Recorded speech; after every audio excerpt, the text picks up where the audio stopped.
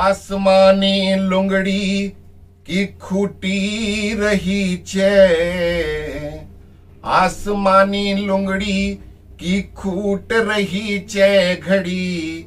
पीछे देख रे दुश्मन थारे बराबर वो बीचू खड़ी।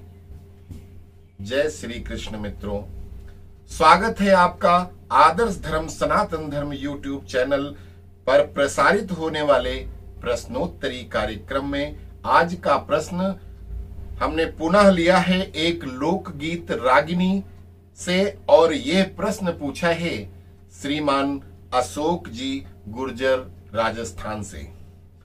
अशोक जी की रागिनी का संदर्भ बताएँ, उसके पूर्व आप सबको सूचित करना चाहते हैं कि अगर आप लोग इन कहानियों, प्रसंगों की डिटेल्स में हिंदी या अंग्रेज़ी में पढ़ना चाहते हैं तो कृपया हमारी वेबसाइट www.samajikgyan.com पर विज़िट कर पढ़ सकते हैं। इसके साथ में अपने उन सभी मित्रों को जो वेबसाइट या चैनल चला रहे हैं, ये भी बताना चाहते हैं कि आदर्श धर्म यूट्यूब चैनल की समस्त प्रॉपर्टीज़ का एकाधिकार सामाजिक ज्ञान डॉट कॉम वेबसाइट के पास है। अगर कोई यहाँ के कंटेंट वीडियो पूरे या उनके कुछ परसेंट भाग भी किसी और वेबसाइट पर या अपने चैनल पर बिना सामाजिक ज्ञान से अनुमति लिए प्रयोग करते हैं तो उनके ऊपर लीगल एक्शन लिया जाएगा। इसमें कोई संदेह नहीं है।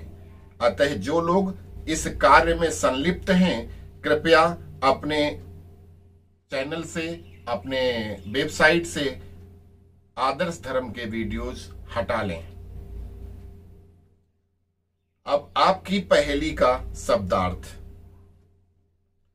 आपकी पहेली का शब्दार्थ है आसमानी। आसमानी का मतलब नीले रंग। आसमानी कलर होता है। लुगड़ी की मतलब लुंगी, धोती या साड़ी। खूंट का मतलब होता है किनारा या छोर। धोती का जो एक तरफ़ का किनारा होता है, उसको गाँव की भाषा में खूंट बोलते हैं। रही चय चय का मतलब है कै, कितनी। घड़ी का मतलब समय। पीछे का मतलब पीछे। देख का मतलब देखो। रे का मतलब संबोधन, ध्यान आकर्षित करने के लिए ज़ोर से बोरा बोला जाने वाला शब्द, दुश्मन का मतलब शत्रु, थारे का मतलब तेरे, आपके, तुम्हारे, बराबर मतलब सम, बराबर इक्वल उबीचू। उबीचू का मतलब उसके, खुद के खड़ी खड़ी का मतलब खड़ी इकट्ठी। संदर्भ, अशोक भाई ने अपनी पहेली जिस रागिनी से ली है, वो द्रौपदी चीर हरण के दृश्य की रागिनी है, जिसमें दुशासन अपनी पूरी शक्ति लगाकर लुंगड़ी अर्थात साड़ी को खींचता है। लुंगड़ी साड़ी का रंग आसमानी बताया गया है। शब्दार्थ से समझ में आता है कि आसमानी रंग की साड़ी के खूंट किनारा पकड़कर कितने समय से दुश्मन मतलब दुशासन खींचता रहा, उसको संबोधित करते हुए कभी कहता है कि अरे दुश्मन, जरा पीछे मुड़कर तो देख। जो खूंट तूने पकड़ रखा था, साड़ी का वो खूंट किनारा अब कहा है? तेरे बराबर में तेरे बराबर के साड़ी का ढेर लगा हुआ है। अर्थात साड़ियों के ढेर की साड़ी के ढेर की ऊंचाई तेरी और तेरी लंबाई से बराबर हो चुकी है। दुशासन साड़ी खींचता खींचता थक जाता है, किंतु साड़ी का अंत नहीं मिलता, फिर वो सोचता है कि साड़ी बीच नारी है कि नारी बीच साड़ी है। साड़ी बीच नारी है कि नारी बीच साड़ी है, कि साड़ी की ही नारी या नारी की की नारी है। वो सोच रहा है कि ये या तो ये नारी ही पूरी साड़ी की बनी हुई है, या साड़ी ही नारी है।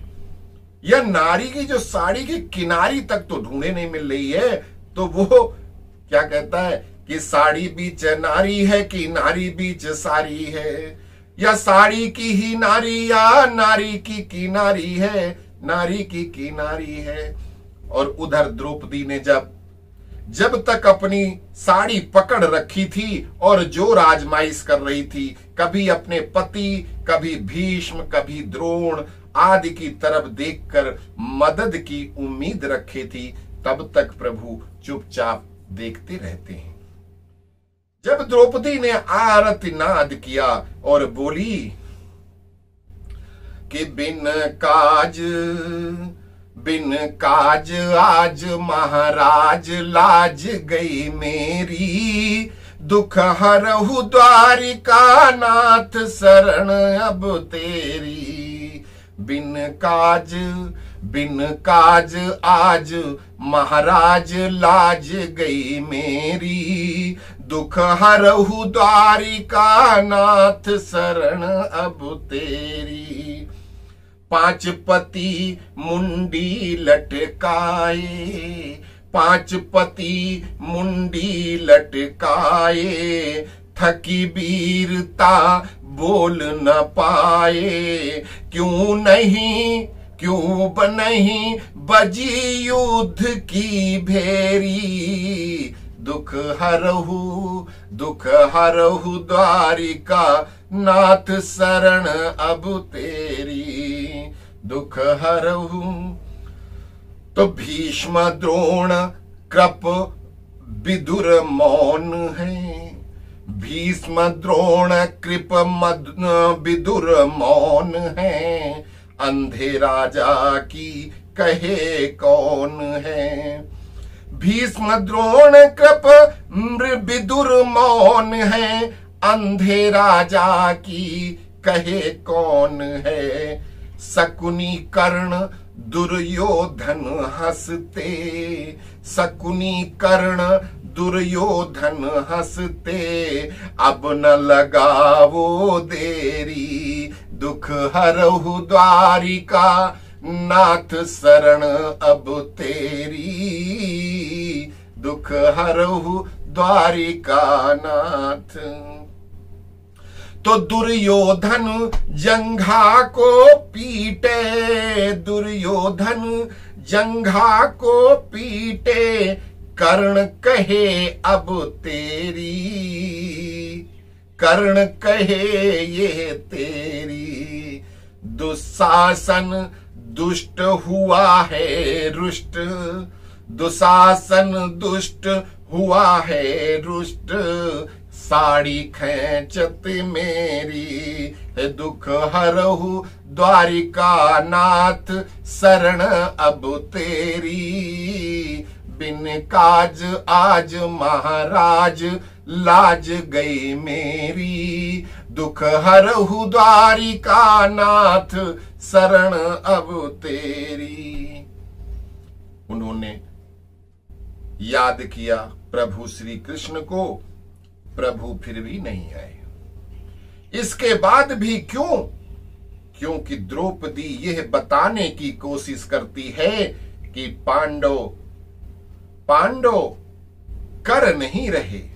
पांडव कर सकते हैं, वो हमारी लाज बचाने में सक्षम है, लेकिन कर नहीं रहे।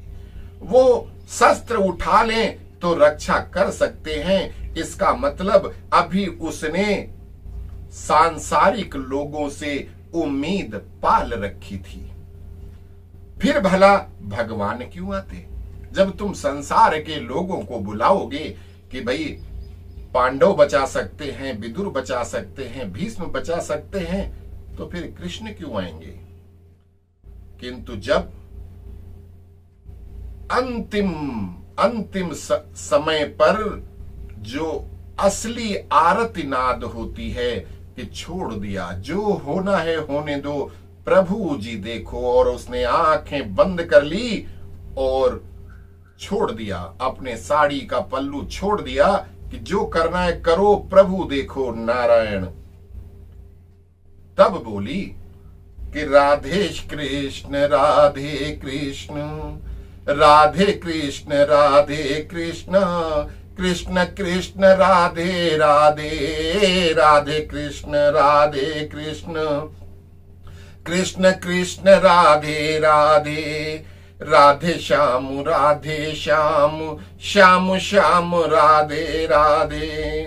राधे कृष्ण राधे कृष्ण कृष्ण कृष्ण, राधे राधे। राधे श्याम राधे श्याम श्याम श्याम, राधे राधे।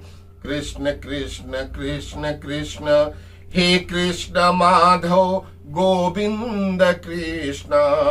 राधे राधे कृष्ण कृष्ण कृष्ण राधे राधे कृष्ण राधे कृष्ण राधे कृष्ण कृष्ण कृष्ण, राधे राधे राधे श्याम राधे श्याम श्याम श्याम, राधे राधे।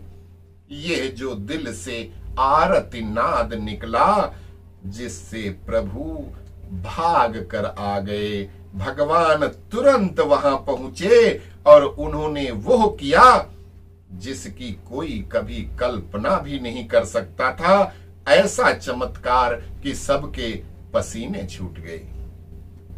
तो साड़ी बढ़ाने लगे और साड़ी बढ़ाते बढ़ाते इतनी साड़ी बढ़ा दी कि जिसके दस हज़ार हाथियों का बल था, वो दुशासन का बल घट गया लेकिन साड़ी नहीं घटी।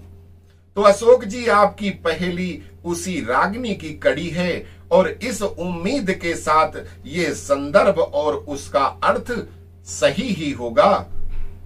और आपके प्रश्न का समुचित उत्तर मिल गया होगा। अस्तु बोलो, जय श्री कृष्ण, जय श्री कृष्ण।